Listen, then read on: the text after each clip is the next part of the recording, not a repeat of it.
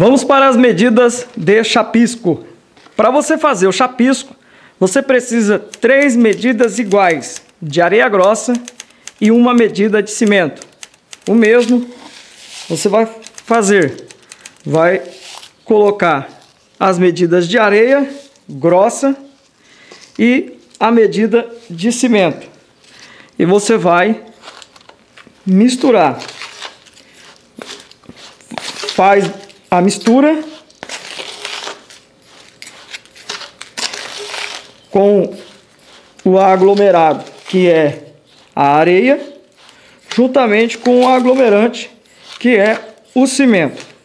Feito a mistura, vamos adicionar a água, tem uma medida de água, vamos ver se uma medida de água será suficiente. Já foi uma medida de água.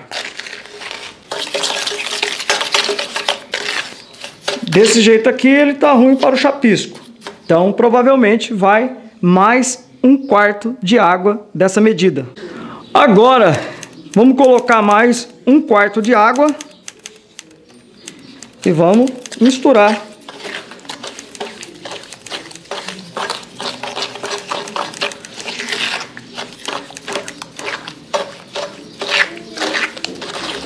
Pessoal, perfeito.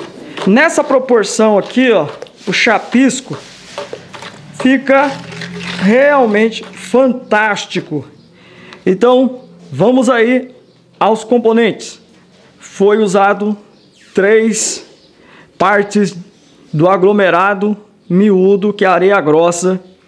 Foi usado uma parte de cimento e foi usado uma parte de água mais um quarto. Tudo é proporção. Você vai trabalhar em cima das proporções. Se você usar o balde de 5, proporção de 5. Usar o balde de 10, proporção de 10.